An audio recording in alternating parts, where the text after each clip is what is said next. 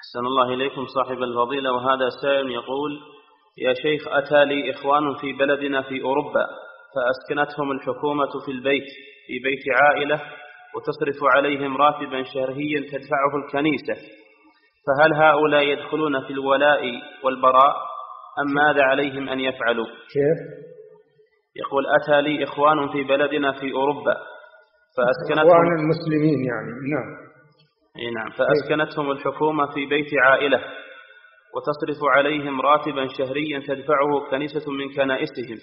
فهل هؤلاء يدخلون في الولاء والبراء؟ وماذا عليهم أن يفعلوا؟ هذا الظاهر أنه من الضيافة من الضيافة. وطعام الذين أوتوا الكتاب حل لنا. هذا من الضيافة ما, ما في شيء. إلا إن كانوا يريدون دعوتهم للنصرانية كانوا يريدون بهذه الضيافة دعوتهم للنصرانية فلا يجوز هذا. نعم.